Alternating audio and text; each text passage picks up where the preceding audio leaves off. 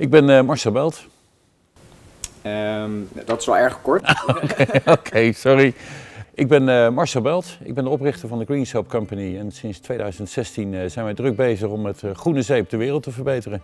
Ik heb 25 jaar bij Unilever gewerkt en bij Reckitt Benckiser, dus twee grote zeepfabrikanten. En heb daar eigenlijk het vak geleerd en ga dat nu zeg maar voor mezelf doen. Maar dan op plantaardige wijze. We staan hier allemaal tussen, tussen de flessen, de plastic flessen. Veel flessen worden gewoon gemaakt van nieuwe aardolie. Uh, mijn flessen worden alleen maar gemaakt van flessen die uit de plastic hero komen. Dus flessen die al eigenlijk een keer door een consument gebruikt zijn uh, in hun huishouden.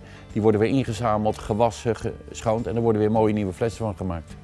En ik ben het eerste en enige merk in West-Europa die 100% gerecyclede plastic gebruikt. Nou, hoe gaaf is dat?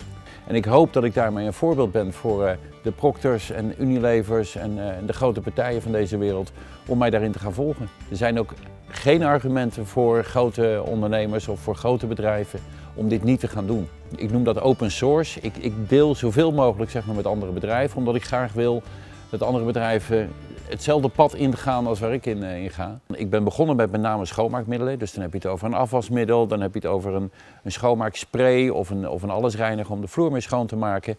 En we zijn dat nu langzaam maar zeker aan het uitbouwen. Dus er zijn nu wasmiddelen om je, om je kleding mee te wassen. Uh, er zijn toiletreinigers, ik heb handzeepjes zodat je je handen ook ermee kan wassen. En langzaam maar zeker wordt dat zeg maar, een hele lijn aan ja, eigenlijk alles wat je kunt verzinnen op het gebied van... Uh, was- en schoonmaakmiddelen. Ik lig inmiddels bij bijvoorbeeld de intratuin, ik lig bij waarwinkels, ik lig bij winkels als Loods 5. En we zijn langzaam zeker met steeds meer drogisterijen en ook met, met supermarkten en andere winkels aan het zaken doen. In België liggen we ook al in zeg maar, iets van 150 winkels. In uh, Duitsland liggen we inmiddels in 1500 winkels. En we zijn inmiddels ook druk bezig met Engeland, met Scandinavië en met Frankrijk. Ik ben twaalf jaar geleden in Haarlem komen wonen. Waar ik nu met de gemeente over in gesprek ben, is om bijvoorbeeld het plastic wat ook echt in Haarlem wordt ingezameld en waar Spaarne Landen dus op een gegeven moment verantwoordelijk voor is, om ook echt dat plastic te gaan gebruiken voor mijn flessen. Ik ben iemand die durft. Uh, ik wil snel groeien en ik wil ook op een gegeven moment wel risico's nemen. Uh, ik denk dat dat ook de rol van een ondernemer is die, die echt zeg maar, iets nieuws op de markt wil zetten.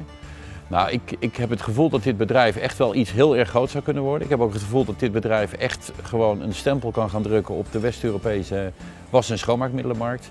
En ja, mijn grootste doel is als mijn ideeën en mijn, uh, mijn type producten zeg maar, wel straks 100% van de markt uh, zouden zijn. Dat zou ik heel erg fantastisch vinden.